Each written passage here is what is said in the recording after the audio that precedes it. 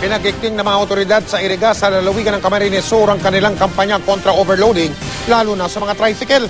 Kasunod dyan ang bangga ng tren at isang tricycle doon nitong biyernes kung saan lima ang nasawi.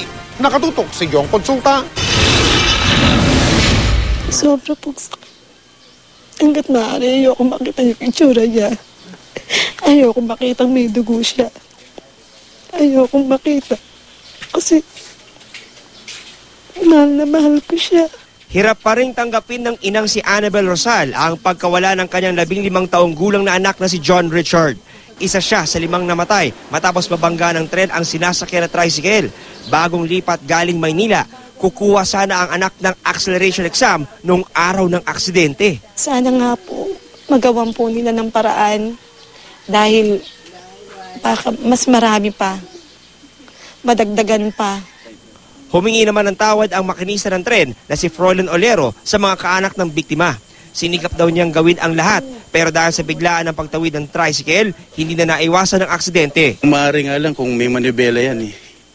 Pinihit ko na para hindi ko siya tamaan. Kaso talagang, yan eh, release eh. Kaya yun lang, kung ano direksyon, dun lang siya talaga. Ngad ko rin yung kapatawaran nyo na sana maintindihan nyo na hindi ko talaga kagustuhan. Ginawa ko naman lahat para hindi mangyari kaso dumating tayo dun sa panahon na ito eh, parang sinabing pagsubok sa akin. Suspindido na ng PNR si Oliero. Samantala, idiniin naman ng isang estudyanteng nakaligtas sa aksidente ang driver ng tricycle na kanilang sinakyan.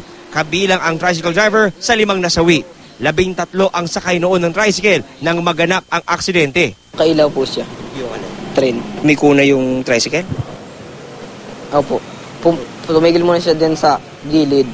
Pala, akala namin di naaandar. Bigla niyang irinangkada pat pataas.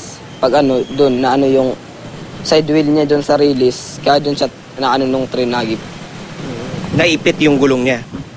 Oh, release. na ano po sa release na parang baga di naka ano na sa release. Saka namatay pa po yung makina. Hindi bababa sa isang libong tricycle drivers at tricycle operators ang dumalo sa meeting na pinatawag ng lokal na pamahalaan. Ang pake ng pulong na ito, plansya ng usapin tungkol sa overloading na nangyayari sa lungsod.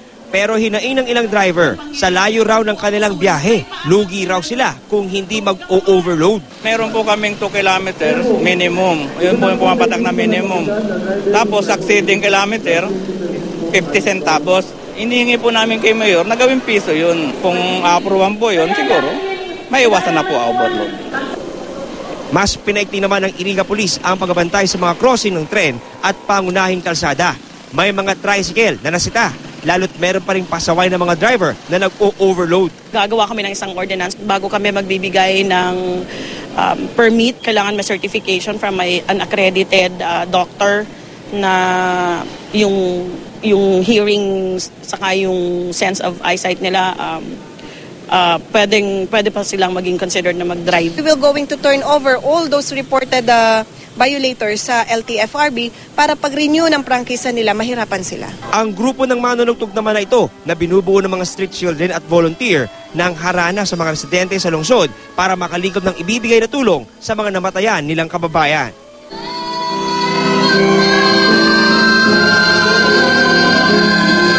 Kahit mahirap man kami, makakatulong ako sa pagtugtog dahil sa nagasaan ng train.